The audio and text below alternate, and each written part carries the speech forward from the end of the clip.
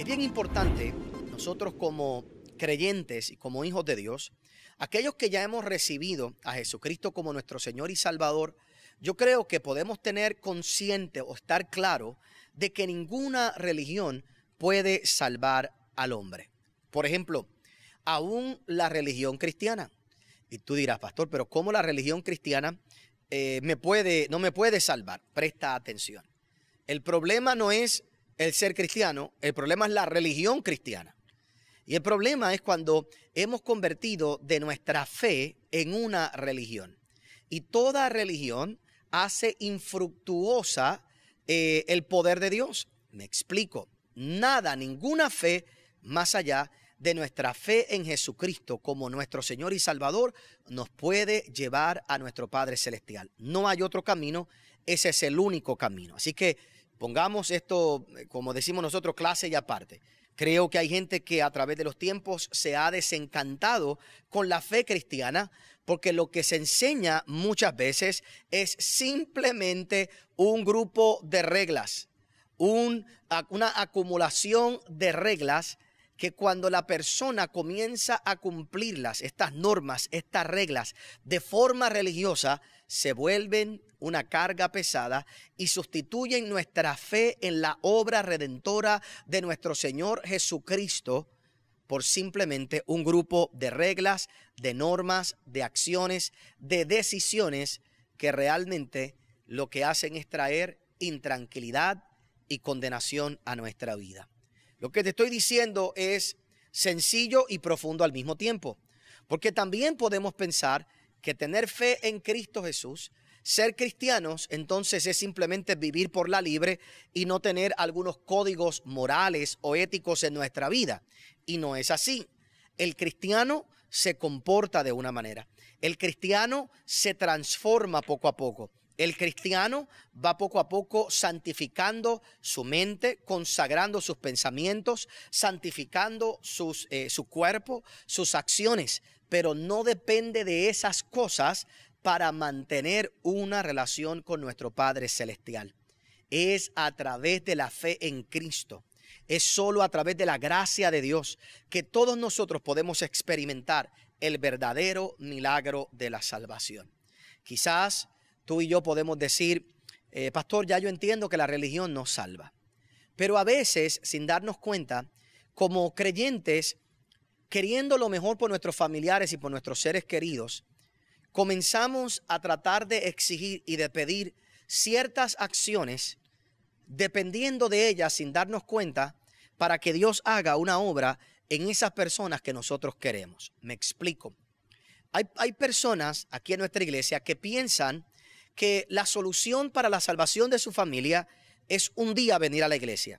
Oh pastor, el día que ellos vengan a la iglesia, el día que ellos vengan a la casa de Dios, el día que lleguen aquí y oigan un mensaje, oigan una palabra. Bueno, es cierto, Dios puede usar ese método, Dios puede usar ese momento. Pero lo que quiero que entiendas es que depender de esa acción es depender de la acción y decisión de una persona y no de la obra del Espíritu Santo. Ninguna religión salva y ninguna acción necesariamente te va a llevar a la gracia y el poder de Dios a menos que sea Dios mismo quien lo active en tu vida. Puede ser que tú has tenido la experiencia de que tus familiares han venido a la casa de Dios y a lo mejor lo hicieron por complacerte y todavía nada ocurrió en ellos o aparentemente nada. Lo que yo quiero que tú entiendas hoy es esto. Presta atención tú y yo tenemos que activar nuestra fe. Y a pesar de lo que veamos que ellos están haciendo, vengan o no vengan a un servicio, oren o no oren, estén rebeldes, nuestra fe no está puesta en que ellos modifiquen sus conductas o que tomen ciertas acciones. Nuestra fe está puesta en que el Dios Todopoderoso comience a obrar en ellos de forma sobrenatural y que el poder de Dios impacte sus vidas, toque sus vidas y les haga despertar. Oye bien en esta hora. Mi oración por tus familiares y por tus seres queridos va a ser, ¿sabes cuál? Que en su cama, en su cuarto, Dios se les revele, Dios les hable, tengan un encuentro con el Señor. que en la barra donde están, que allí en la cárcel donde se encuentran, que con el grupo de amigos donde están, que en el lugar en el que están haciendo sus maldades, sus rebeldías, en ese hotel en el que se encuentran, allí en ese lugar tendrán un encuentro con el Señor. Tendrán, que después podrán venir a la iglesia, que después llegarán acá, seguro que sí.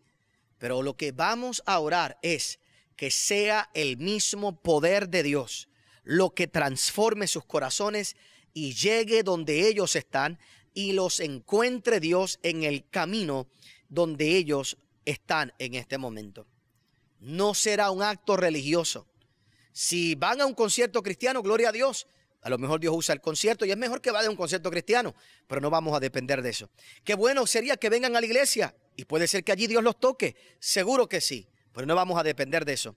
Vamos a pedirle al Espíritu Santo que no tiene barreras, que no tiene límites, que se meta en el lugar donde están y allí en el auto donde están usando droga, allí en el lugar donde están deprimidos, allí en el hospital donde se encuentran. El poder de Dios se va a manifestar en sus vidas y por el poder de su palabra recibirán un encuentro con el Señor. Padre, gracias por el poder de tu palabra. Me uno a cada uno de estos tus hijos. En el nombre poderoso de Jesús, nombre que es sobre todo nombre.